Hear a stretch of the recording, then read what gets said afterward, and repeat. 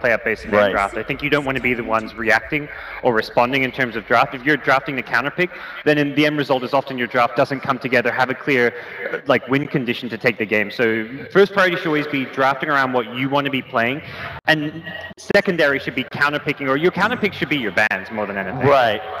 All right. Well, we are going to see this time. I mean, basically, Flip Secret going ahead and taking that Doom on the Radiant side. The ban's coming in. This time we do see the Invoker being banned out. Not going to be let through in this draft phase. So that'll let bounty bounty through, They don't. on. They don't play bounty that often though. Ooh, that could be really abusable for, for Secret then. If they don't pick it, then Secret gets potentially two top two heroes. They fulfill much of the same role, I suppose. Yeah, that's true. It's kind of hard to do both, definitely. But you could do offlane Doom. Hmm. All right. Well, statistically speaking, eHome preps in a little bit of danger in how they have to adapt from the first phase right away in game two. You know, looking at eHome's prior draft style, they banned bounty hunter in about 90% of their games, but they haven't picked it up. Well, surely a lot of teams going into this tournament had some bounty, anti-bounty strats. Like if you got a top hero like that, you figure out a way to beat them, and then you let it squeeze through sometime maybe. Right. The, their anti-bounty strat is to pick bounty hunter this time. Okay. Um, and it, it's a pretty good one. Yeah. I mean, left it open. Take it for themselves. The Death Prophet does return for eHome. I, I like this synergy. Uh, bounty track on heroes makes Death Prophet run even faster. So um, if the stuns are a bit weak, coming out of Secret can be very survivable for her. I think this time they have much better kill potential uh, too in the mid lane, even starting at level one with the Spirit Siphon and just a, a Windwalk with the Orb of Venom. Like I think last game, like Doom can run around with Inf- Infernal Blade, but it was Secret that made the first move. I think a lot of it just dictates about which support actually pressures the lane first. I do kind of like Doom as a DP counter as well. It's not just about preventing her exorcism co- from coming out, but um, his uh, Infernal Blade does percentage-based damage, and she usually buys a lot of HP items, so can be really nice scaling into the late game as well. They just have- Counter by no HP. Be Excellent as choice. squishy as possible as Death Prophet. That's the just all evasion meta. and mana, I guess. get hood. Resistance. Yeah. Just go right That's it's hood. pure damage, isn't it? The Infernal Blade. Infernal Blade's Yeah. magic. Mag- yeah, Is it? Infernal Okay. Blade is magic. Triple cloak. the, pure- the hardest counter there is. Lion picked up by Secret again. No surprise there. I think for Secret, the key thing, again, not to be too greedy. You're versing a bounty hunter. There's going to be this pressure onto the mid lane with bounty plus death prophet. Make sure you have just a solid support duo. You don't have three cores who all need some farm. You want to have at least one of your core players on a hero that can get involved early, take fights, move around the map. You don't want to have three very static, passive farming lanes. It it is kind of interesting to see Puppey potentially playing the Doom though, because he usually does play very sacrificial roles. And like I talked about in the last game, um, Lion does usually get lane farm with Envy switching to the jungle. But will he continue to buy wards? Normally it would be Puppey buying it. It might, might adjust their early game playstyle a bit. Last game they didn't do that at all. They was just all about killing heroes. They really didn't Right. worry about. They're like, We're, we don't even need a blink dagger. We just need to get kills and potentially 22 of them and limit your deaths below four, and that usually wins games. yeah. Except when you're throwing games. Yeah, it, it can come back. You never know. Yeah. Well, so far so good though. Do you think there's still going to be the same fear from eHome against the likes of the Chen and the Enchant? I mean, last time there was a huge focus the Wisp ban from the first one, and then going with the Enchant and the Chen right away. Do you expect to see that this time, or do you think eHome's going to just kind of let it slide and see what else they can pick up for themselves? In the past, you have you have bounty hunter. You're not afraid of the Chen or the Enchantress, but we're seeing the new camps being added so that the, the Chen the Enchantress can often play keep away. So there may be a little bit of worry. I think the Chen perhaps a bit scarier just because it's more Puppey's signature hero, but I think given the fact you have bounty, they're just not going to worry too much about the junglers. Yeah, I think they could do either, honestly. I don't think it's a big deal. Um, Universe can play uh, Enchantress offlane. It could hypothetically be Yeah, Puppey, and they could put Doom on Universe. Um, creeps harassing the mid lane. Death Prophet's fairly susceptible to that, especially being on the dire side. You can easily just wrap it around, whereas ganking Radiant mid is a little bit harder with the creeps. All right, well, Enchant first up on the ban chopping block. Yeah, Witch Doctor being banned out for Team Secret, they're I think they're scared of maybe their uh, offlane being a little bit too weak, and by by uh, the same token, they want to ban out the strong support so that Universe can have an easier time there. Of course, they could put Doom there, but I think that Witch Doctor and Avenger are probably the two strongest zoning supports, uh, and this frees up Bounty Hunter to help out the Death Prophet a little bit more. So they want to secure at least two or three lanes, and Team Secret are just make, making to look their off lane much much stronger than eHome safe lane. It's a good idea too, because if if your off lane is not easy to kill, like if Secret has a survivable off lane, that means he'll put more pressure on the carry, which is going to force more rotations that way. So even if Universe doesn't necessarily rotate that much, just forcing the supports to be there to zone him is going to create less pressure on the map, and it's going to make it easier to predict Bounty Hunter. Whereas if Bounty Hunter can go wherever he wants, like let's say Universe has to fall back into the jungle, then it makes it easier for eHome to play their game. So limiting their, their strong supports, uh, at least in terms of laning, could be a big advantage that Secret can exploit. All right, well, the Chen also being taken out, so that not no change there for eHome. And now back to rounding out their own roster, seeing what their strengths are going into game number two against Secret. Very patient picking this tournament, actually. Yeah.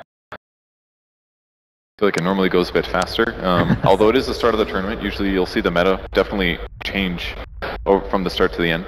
But will it change that much in two days? That's the real question. yeah, not too much time, not too many games. Wow. Ooh. Secrets Okay. Very rarely will that be picked up unless there's a Darkseer. Um, I've been kind of saying it since the hero came out. It's okay. It's not amazing. It has some good aspects to it. It's pretty good with Death Prophet because you can amplify the heal she does. But Even if Death Prophet's going to die, it keeps her life that extra bit longer to maximize her exorcism dam- damage Yeah. output too. But honestly, she can heal through so much Yeah. just with Spirit Siphon plus a couple nukes on Oracle. It makes a big difference. Um, Doesn't mean they have like no stuns, no control right now. Something they're going to have to remedy with their offlaner or their support. yeah, and you can stop damage with Fate's Edict, uh, whether that's line or whatever. So it's it's definitely a good combo with Death Prophet.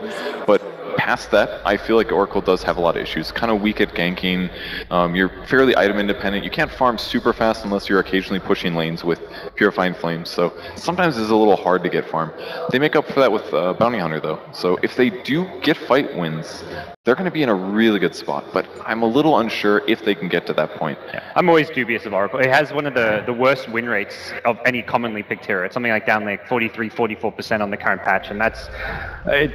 It just doesn't it doesn't really play towards the tempo of the patch where it's just a passive passive laning support. Like heroes, other heroes that fit that role, like Witch Doctor, just get a bit more more done. They have an ultimate with a bit more like firepower to them. Oracle is just purely defensive in nature. I see her like pretty successfully when they used like the nuke into Fortune's End into another nuke and then combined with like a bounty hunter shuriken. I think that's like a lot of front loaded damage. That's very, very difficult to prevent. Like Doom actually suffers against that sort of uh sort of burst heavy lineup where you can't actually scorch earth because you're just dead in that uh, time frame. Also it duels as like a defensive toolkit for the Death Prophet. Like we already mentioned, generally it's like Avenge or uh, Winter Wyvern like we saw last game, but it's I think it can be played very, very offensively. And one other thing that the Oracle pick does do is it, it sort of prevents against a secret Batrider. It's one of the really good solutions from a support aspect that counters Lasso.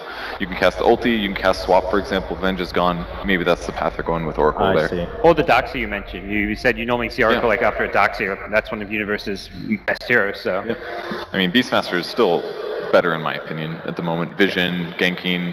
Uh, once they get a gem, it'll be way easier to find Bounty Hunter when they're looking through jungles.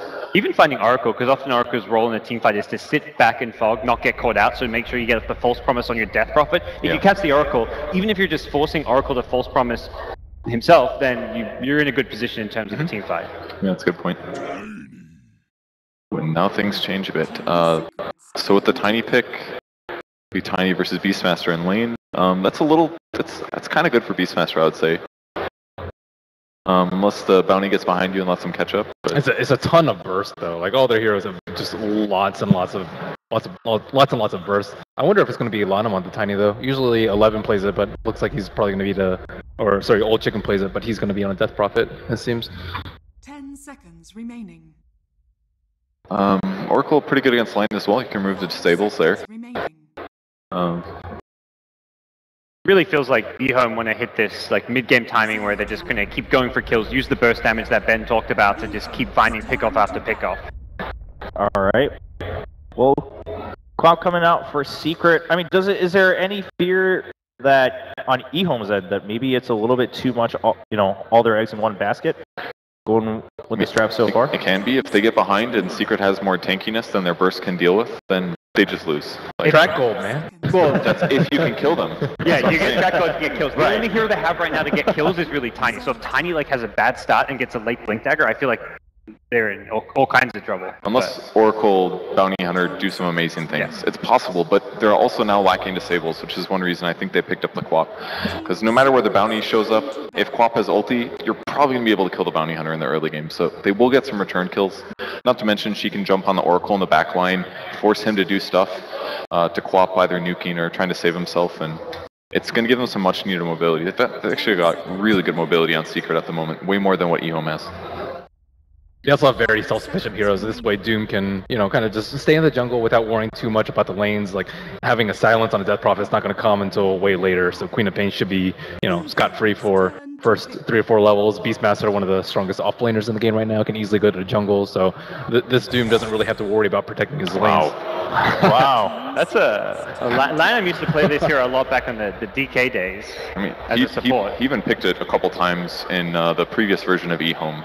At, Yes. the, at the major, they picked a lot of Abaddon and Tree and stuff like that. So They would even run it in that eHome team as, sometimes as an offlaner, which is what we're going to be seeing here. This pick, I, I like a lot. Remove disables. But it, it overlaps with the Oracle a bit. I, I, is that a bad thing? I I mean, you it's just more insurance, right? yeah, yeah. You can pump out death coils on like a six second cooldown. That's a 500 HP heal on your core every six seconds. Like he, I, I could, e- you could even justify maxing or mist coil on Ab- Abaddon in this game. They still cannot afford to fall behind. If, but if they get like a good start, they can Yeah. start five many taking down towers. I feel like they're going to be in a good position. Yeah, I agree.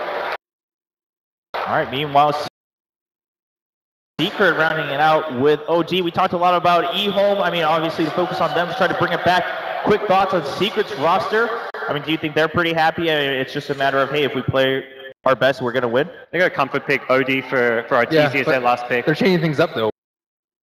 We see EE on the Queen of Pain. This isn't something that we've seen for a very long time. I think I would probably say venture to say back when he was on Cloud Nine. So Okay. they're exploring much different strategies. Only problem with Secret's picks is they got every hero they wanted pretty much. So it might turn out bad. Sometimes that's an issue. Yeah, uh, it's very true. you got to watch out a little bit, getting too comfortable perhaps. But right now, Secret leading 1-0. eHome getting that insurance with the Abaddon in the last pick. See if they can pick up a win to go to game number three. Again, eHome fighting for their laugh, or life rather. In this one game, let's find out as we go to the game with our commentators. Five seconds remaining. Time and time again, we've seen teams.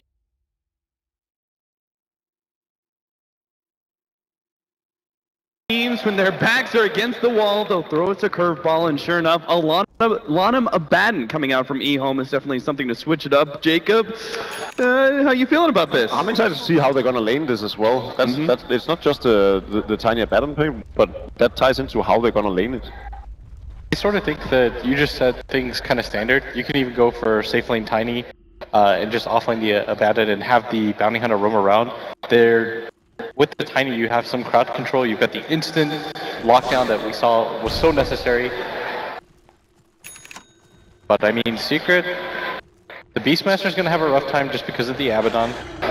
I'm not really sure. Look at this. They're already cutting down the trees. So, Old 11, the plan is here to pull that off lane camp, toss one of the creeps, the big creep preferably, into the creep wave to pull it in. To be a, a nice abuse of this off lane camp that we haven't seen too many players take advantage of. Yeah. So what you're saying is it's an offlane tiny. He has the boots first, and he's gonna go down and, and just remove the creep wave in its entirety.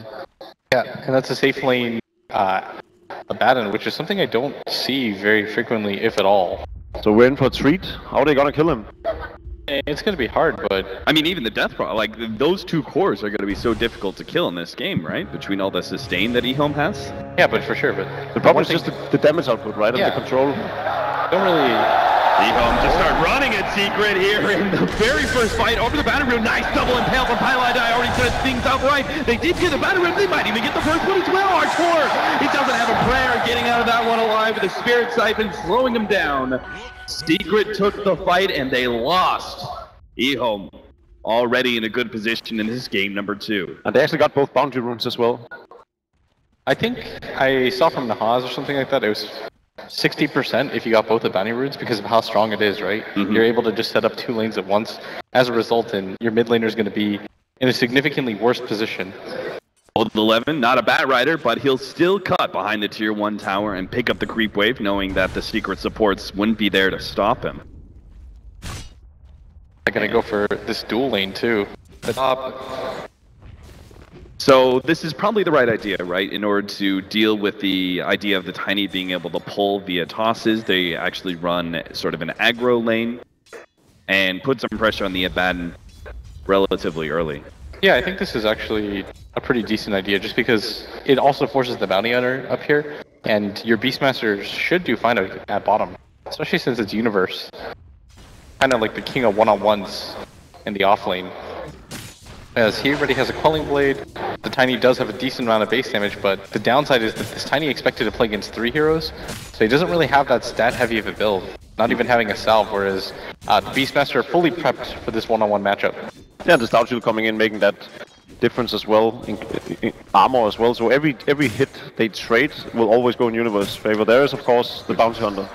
Why Ice Ice Ice needs to help out Old 11 here. They are going to throw out that avalanche finally and get a couple more right clicks in, but uh, just doesn't some, seem like they're going to be able to do this. They still have the toss, but that would be a dangerous play trying to toss the bounty hunter into that tier 1 tower range. So Universe does get back, pops a healing salve.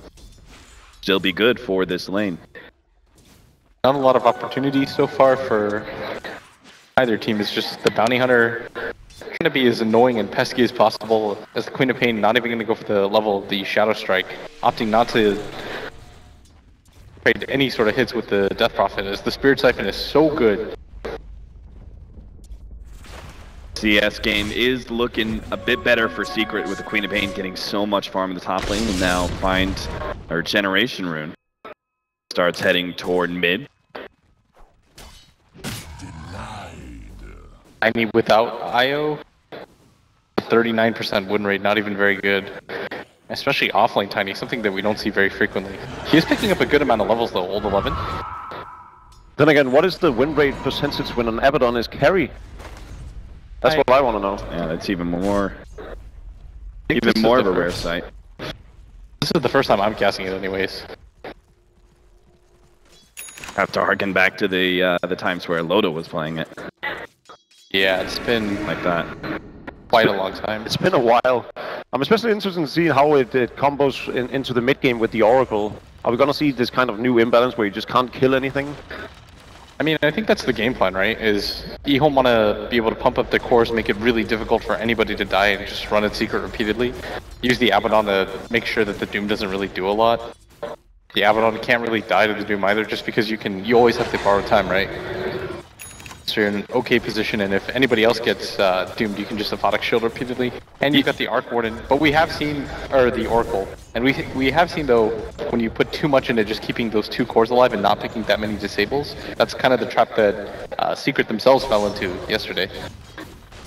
Which kind of leads us into perhaps Old 11 must have a good laning phase for him to be much more of a factor, for him to be able to output enough damage to make up for the heavy, heavy sustain that Ehome invested in. Yeah, because of the support from the Bounty Hunter, he's he's fine for, so far, and he gets to uh, to control the rune as well. He's going to go for Universe here. He's going to be able to easily land this Avalanche. Just goes for the toss straight upwards. He's going to try and run him down underneath his tier 1 tower. Does have the haste rune. It should be easily enough. And will end up going down underneath the tower, but it's still fine. Claiming the experience or on kill on the Beastmaster is really all he was looking for there. Wrap around here behind Old Chicken. Who supports popping their head out, realizing that old chicken is already far enough back. The gank not going to be successful, and they can feel free to leave Artour alone at this top lane. Not a whole lot that they can do to this top lane. That's the one downside of the Abaddon carry is that he doesn't have the best kill potential whatsoever. Like, what are you going to do? You're just going to run at them? He can always just astral himself. Uh, killing mid is going to be difficult because of the fact that it's the Queen of Pain. So if you just look at the layout of the map, it's pretty much this Beastmaster that uh, I think Ehome want to take advantage of. Do you expect him to uh, to ma max mist coil over the Curse of Avernus? Uh, I still think Curse of Avernus is so good. Just in because when you want to hit towers as well, and I think this is meant to be kind of a fighting core. It's a lot better than a mist coil is.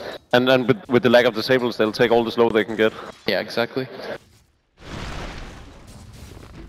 Bottom lane, Ice Ice Ice is setting up. This does seem to kind of be a trend. You you brought it up, and I kind of want to hit back on it. The the fact that Bounty Hunter picked up in the draft ends up at the end of the draft being left with essentially only one lane that he can really put pressure on. It feels like uh, it's really obvious to read the Bounty Hunter's movements when uh, you shore up two of your lanes so much. Alternatively, he could go top and try to mess with the OD, but there's no guarantee of a kill there, especially with uh, Puppey and Pylai roaming around. So I think this is just uh, the higher percentage uh, kind of harassment that they can make work, and Eternal Envy is going to take the top DD rune. Wins the foot race unknowingly against Ice Ice Ice. But they they must have known this going into this game that they are heavily reliant on levels. As you see top lane, Fenrir is going to be run down by Puppey. He doesn't care. They know that eHome are unlikely going to be able to TP and uh, really punish this one, but they're in so deep, and it took them a really long time to actually kill Fenrir. Now to get the Hex on to hold on him. They're actually going to be able to burst it down with the ultimate. He off the Aphotic Shield, but it doesn't matter. One more right click, and he finishes them off. They're underneath, deep underneath this tower. Old 11 is here with an extra bit of revenge. They claim one core kill, and looks like should be able to run down Pieliedie as well. He's out of options. He's just buying more and more time as the game of Ring Around the Rosie commences but it has to end eventually. Still, they managed to be able to pick up the kill on the OD as Arteezy is going to go down into the tower. The Tiny gets a lot of gold out of that. Uh, as a result of that rotation, he's going to pick up his level 7, and that burst damage is quite a lot as they're going to sandwich Puppey. Ice Ice Ice and a TP in might be able to get some sort of return fire here. Old 11 not going to be saved, but they do get their turnaround kill on a Puppey and start right-clicking Universe, but I think he realizes he can win this even if it is 1v2, he's got some extra backup with our TZ. So the good trade-off here is that the Bounty Hunter is getting some some level and of course farm as well. He's almost 6 and once they get that level 6, as well as 6 on the uh, Abaddon, they probably want to start taking these oh, fights. Oh, he's almost there! An Astral Imprisonment, such a short range. Yeah, that's actually what I was going to point out, is that even though it's just 2 for 2 uh, trade-offs in these engagements, Ice Ice Ice is picking up so many levels. He's already going to hit uh, his level 6 at 8 minutes. I think last game when we were talking amongst ourselves, we were saying even at 10 minutes, if you were to pick up, if you were to pick up the level 6 track uh, on the Bounty Hunter, you'd still be in a really good position. And for him to have it this early on, with the Tranquil Boots as well, already having the headdress, a much more successful game for Ice Ice Ice. Which means our first rotation of the Bounty Hunter with this smoke. I'm presuming he's going to be uh, joining someone else. It looks like the Oracle for the time being. They're going to head to the mid lane where currently eHome are trying to put some pressure on that tier 1 tower. It's not quite enough to take it though, only bringing it down to half health. Yeah, I think Old Chicken wishes he had mana so he could clear out the creep wave real fast and go hit the tower with, with Tiny standing. Ready for the uh, TP in though, Old 11. And they want to see if they can uh, get this surprise jump on somebody, but at the same time, Puppey and the rest of Secret are beginning to close in on this mid lane, hoping to be able to punish eHome for sitting so far forward. Old 11 is actually in a kind of a nasty spot. He does get spotted out here. Ice Ice Ice is going to be able to help him out, but it might be too late. The Primal Roar goes down, and Old 11 is definitely dead. Team Secrets they don't stumble into that tiny positioning and end up being able to uh, scout him out and punish him being so far forward. Yeah, and Pieliedie desperately needs levels in this game. 0, 1, and 2 hasn't really been able to accomplish nearly as much as the support duo on the other side is Ice Ice Ice, just throwing out tracks, and Secret already going for this mid tower as this aggressive blink forward. Fenrir tries to save himself, but of course that's pure damage from Arteezy. Ice Ice Ice is going to be the next target, already impaled up. Sonic Wave goes out, they just pop him. He gets off the Shuriken, but it doesn't seem to be enough. Old Chicken can't really stop and win this fight without the Exorcism, as LaNm isn't going to be able to help him out. Looks like Old 11 gets the toss up in the air, but it's not enough to kill the OD, while LaNm is eventually going to take out from this Doom, and Old Chicken is just being kited around. The OD, who did not die to the Tiny, turns around and kills him instead, and eHome, they lost everyone in that fight. Yeah, that, that's the problem with this with this lineup from eHome. They don't have any control at all, especially not with the Tiny being down. And then on top of that, the, the Doom going on off on the Abaddon, and of course being able to astral him had he had an ultimate up. It's just, it's almost too easy for Secret to just do whatever they please in these team fights. Yeah, what's important to remember about track kills is, first, you actually have to get the kills. It's not nearly enough to just have this hero kind of just walk around uh, throw out tracks. You want to at least have somewhat even engagements, but Secret not giving up a single kill makes And, that and they were prepared for the bounty hunter with the sentry ward as well. Yeah, he went down to the tower. Like this is, I mean, the game is still in its infancy. Nothing has really been uh, too definitive quite yet. Secret have taken some control, but eHome could just as easily turn things around. They have a lot of burst damage coming their way, and all it takes is two or three track kills. Or perhaps, uh, well, that could be led into by a bad initiation from uh, Secret. They're looking to be able to get some sort of Primal Roar kill, but they do have a lot of now. They pop out of their whole eHome, hoping to be able to get somebody here, but they're missing everything.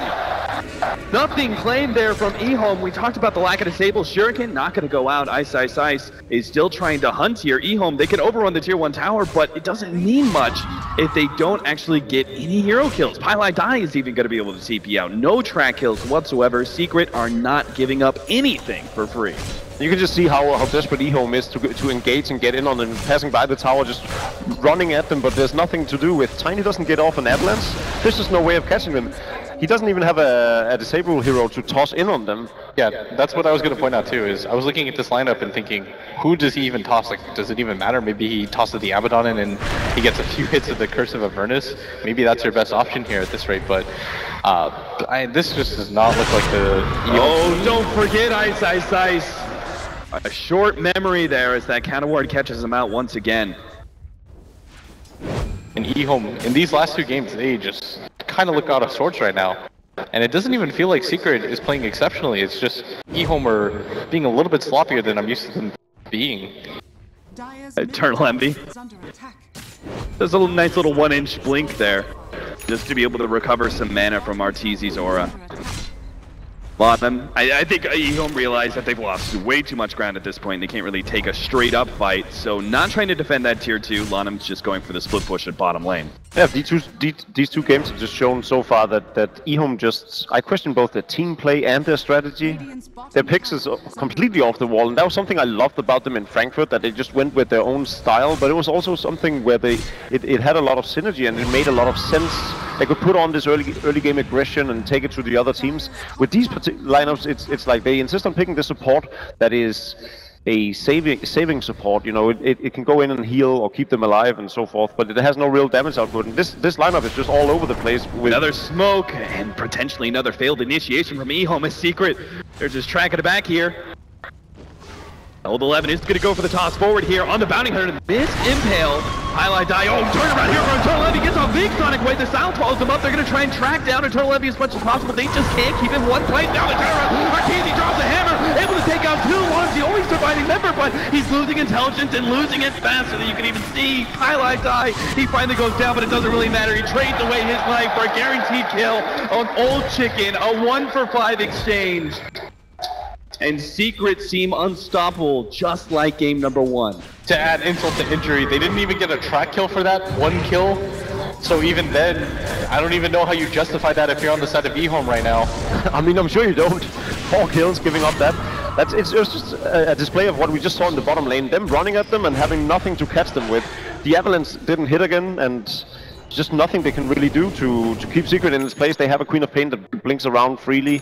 There's not going to be any point in time of this game where this Queen of Pain is going to feel threatened. Yeah, she has so much HP from the drums too, and uh, something pretty funny is that they took our advice. They tried to toss the Janata Bounty Hunter to maybe set things up, but what are, what are you going to do against a I, I I mean, the posterity of that statement alone just describes what this strategy can and cannot do. Yeah, the situation does not look good for eHome right now. Is they just don't have that instant jump that they need to maybe start a decent fight for themselves. Secret staying relatively huddled up here around the mid lane, Pieliedie. Always sitting behind Eternal Envy, being his guardian angel, waiting for a potential initiation from eHome that he can respond to. But eHome, all they're doing is just scouting out the Radiant jungle. Eternal Envy is going to come in with his haste rune. Silence doesn't mean much. You've got 522 movement speed, so Eternal Envy just keeps on running at them. Spirit Siphon, easily cut off there. And Eternal Envy just feels like he's kind of toying with eHome because he knows there's no hard disables to make him uh, fearful. Went for a Hood of Defiance so that he can easily survive through Tiny knowing that there's no other disable. Puppey's going to be a target here. They will be able to slow him down. Puppey is going to be eaten alive here by the Exorcism. The track bounces over to Eternal Envy and Secret. So I guess that's the uh, the only pseudo disable they have except for Tiny. Fortune's End. Yeah, it's not the most reliable thing, and as the game progresses, it might not be what you exactly want to do, but still, a kill is a kill at a point like this, and aggressively jumps forward.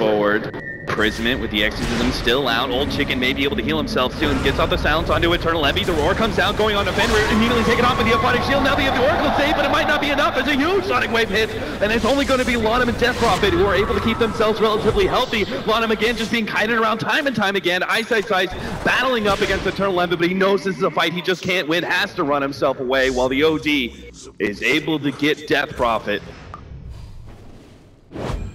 And Aziz is so very farmed at this point. He's got a Blink Dagger, the Drums of Endurance, very close to a Veil of Discord. I mean, when you look at the fights, okay, Okay! Arteezy says you want to try and walk away from that one ice, ice, ice. that Take was the ultimate. 75 in stolen. You're not gonna fight that hero. And the crazy part is that in some ways, uh, whenever the OD sees the Abaddon, he's like, I'm very happy about this. Even Yeah. with your ultimate pipe pop, I don't care. I'll heal you to full as long as I steal like 40 int. Radiant's top tower is under attack. And we're seeing in many of these fights, the ultimate isn't even needed for Secret to just be able to run over eHome. I need 200 off his Blink Dagger still. There is a Mekansm up on uh, Bounty now, however.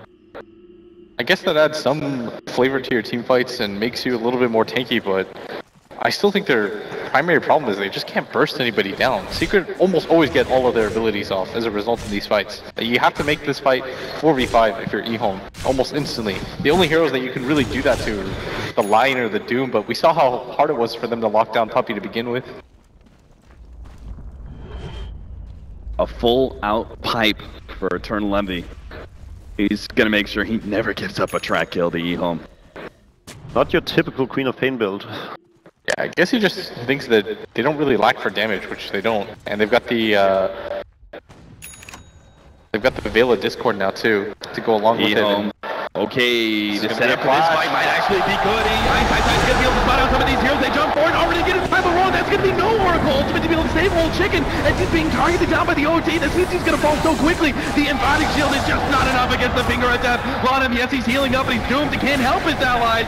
So they leave him for last. He's the dessert as the rest of eHome was consumed by Secret for dinner.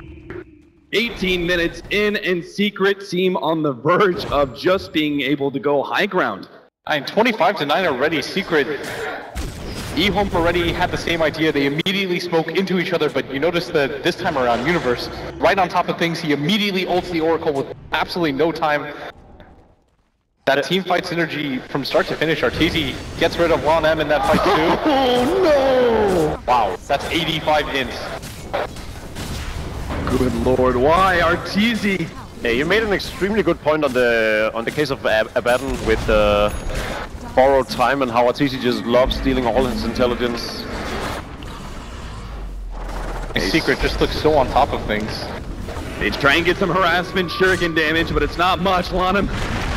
He's even going for the deny. They actually jump in now with Old 11. Oh, they actually get the toss back, but there is the imprisonment save in Old 11. He may be dropped here from Arteezy. Comes in, Eternal Envy misses the Sonic Wave on Old 11, but he hits the rest of eHome, allowing Arteezy to be able to triumph here and take one. The Death Prophet goes down, and he's coming back with life number two. eHome regrouping now, wondering whether or not they can initiate, but Eternal Envy, he says, you want to initiate? I'll initiate on you instead, forcing eHome back to the fountain while Secret casually take that ranged Rex on their way out.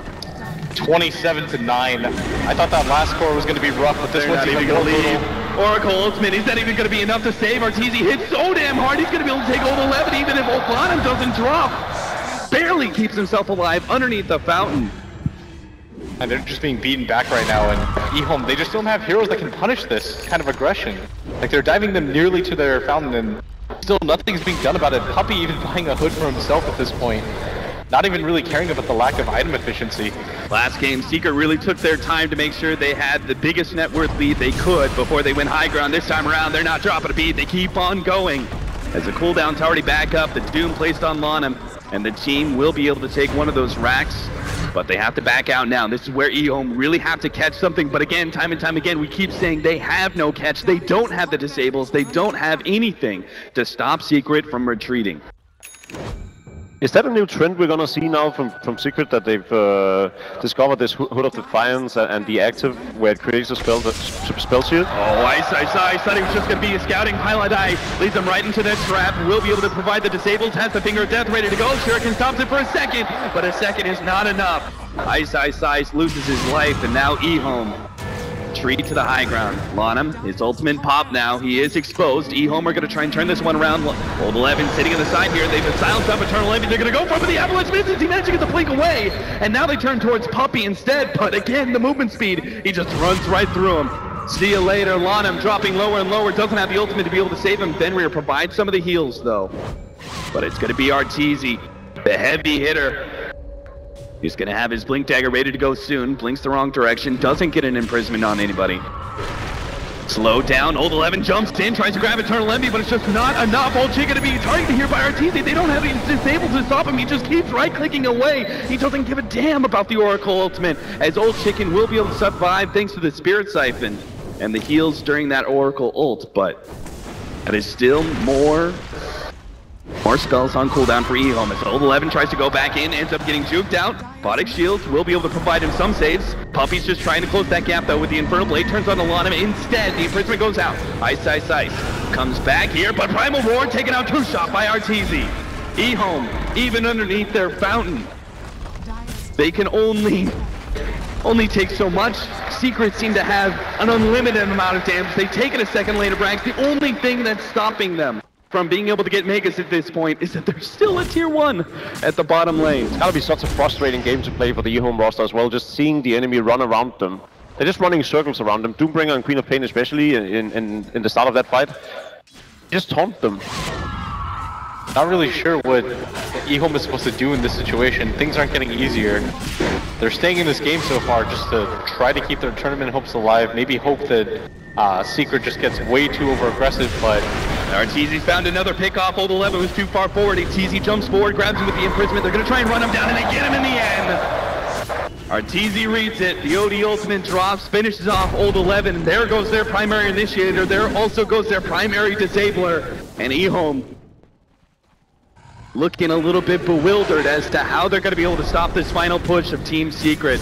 And it just doesn't seem possible. Puppey casually runs in, escapes him out of the fight entirely with the Doom. Arteezy keeps running forward. He saved one hero. He's going to target the next. Takes out the Oracle. Now turns his attention onto Old Chicken, waiting on him as his ultimate's going to end up going down soon. Another GG. This time 33 to 9, make it 34. And a casual 35 pickup before the throne explodes as Secret they dropped down to losers bracket nice and early. People were rather surprised, but now against eHome, they take two of the most dominant games yet. That series lasted altogether maybe an hour, draft included. It just felt like they got absolutely rolled here from the pick phase That's because on. they got absolutely rolled here. I, this was just fast. Not a whole lot that eHome could do, even with the success of Ice Ice Ice roaming around. That Bounty Hunter was incredibly effective. We saw that he was able to get to level 6 early on, but they just couldn't turn it into